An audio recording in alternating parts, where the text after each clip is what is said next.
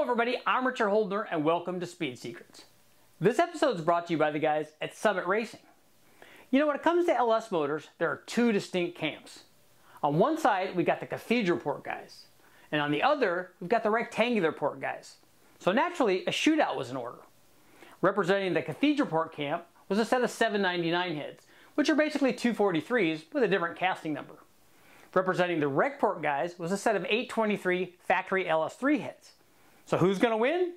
Let's check out our test motor and jump on the dyno. 2008 LY6 6 liter. We replaced the VVT cam with this healthy grind from Comp Cams. Both heads received a spring upgrade. 799 cylinder head specs. 799 heads run with Dorman intake. Dialed in with a Holley ECU.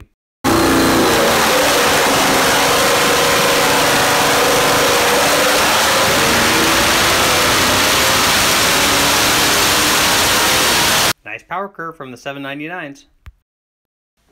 LS3 heads are next. LS3 heads run with LS3 intake.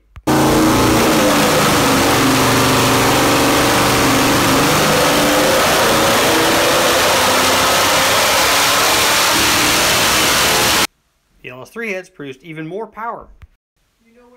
Check out the power gains. The results are in and the Recport guys have to be really happy because the LS3 heads came out on top by almost 20 horsepower. I mean, that's a significant amount. But you know what? That doesn't tell the whole story because the 799 heads offered that much extra torque down low. So it really depends on where you want your power production.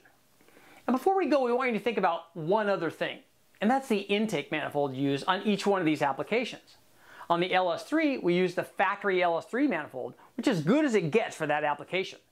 On the Cathedral Port application, we use a Dorman LS2, which is about the equivalent of a Trailblazer SS, which is the best factory manifold you can get, but certainly not the best manifold for that application. Think about this. If we were to take a fast manifold and put it on the LS3, we'd gain very little. If we were to take a fast manifold and put it on the 799 heads, we'd gain a ton. I'll bet it would almost equal the power output of that LS3.